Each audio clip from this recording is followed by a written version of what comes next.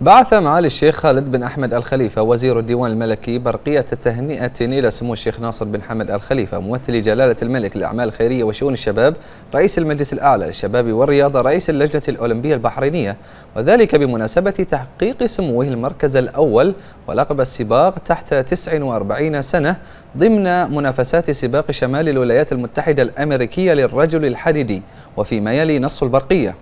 سمو الشيخ ناصر بن حمد الخليفة حفظه الله ممثل جلالة الملك للأعمال الخيرية وشؤون الشباب رئيس المجلس الأعلى للشباب والرياضة رئيس اللجنة الأولمبية البحرينية. السلام عليكم ورحمة الله وبركاته. وبعد نهنئ سيدي حضرة صاحب الجلالة الملك حمد بن عيسى الخليفة عاهل البلاد المفدى حفظه الله ورعاه وأنفسنا بهذا الفوز الكبير الذي عودتمونا عليه.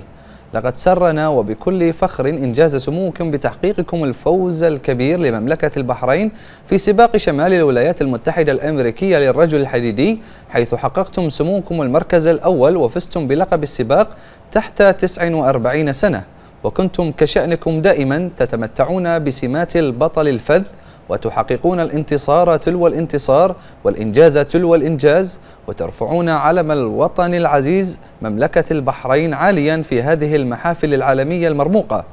إنكم فخر الشباب العربي عامة وشباب مملكة البحرين خاصة ونموذج رياضي يحقق الفوز بعد الفوز. أبارك لكم هذا الإنجاز الكبير وأنتم موضع اعتزاز شباب مملكتنا الغالية.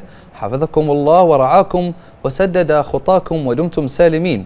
خالد بن أحمد الخليفة وزير الديوان الملكي.